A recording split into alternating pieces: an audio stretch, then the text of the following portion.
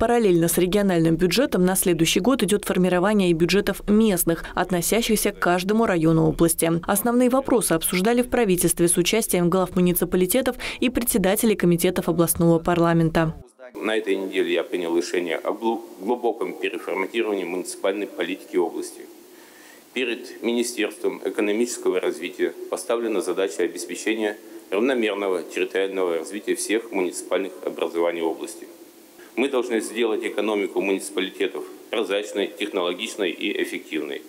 Местные бюджеты должны полностью соответствовать региональному. В том числе в документах должны быть предусмотрены деньги на зарплаты и выплаты бюджетникам и расходы на оплату коммунальных услуг. Каким бы партиям мы ни относились, нужно работать для избирателя и во имя блага избирателя. В основе деятельности каждого из депутатов должно быть чувство любви к своей родной земле и чувство ответственности за будущее нашего региона и страны в целом.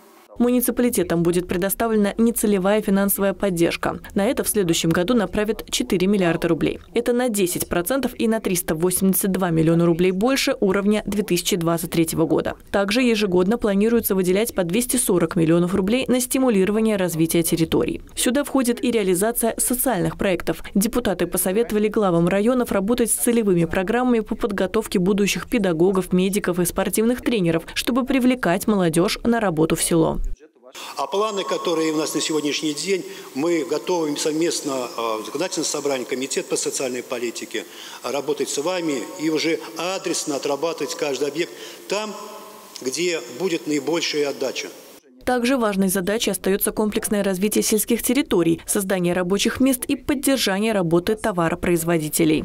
Сложилась ситуация такова, что мы несколько лет подряд рекордные урожаи получаем из санкционных проблем и нарушений всей логистики. Конечно, у нас давит тот объем произведенной продукции на сегодняшний день. И поэтому цена сложилась такова, что на 5 тысяч гектар 150 миллионов затрат мы получаем в районе 100 миллионов. Минус 50 миллионов каждые 5 тысяч гектар на сегодняшний день выдает. Отдельным пунктом при формировании бюджета стоит ремонт и освещение транзитных участков дорог, магистралей и внутридворовых проездов. Также будет продолжен ремонт и реконструкция систем водоснабжения. Анна Тищенко, Улправда ТВ.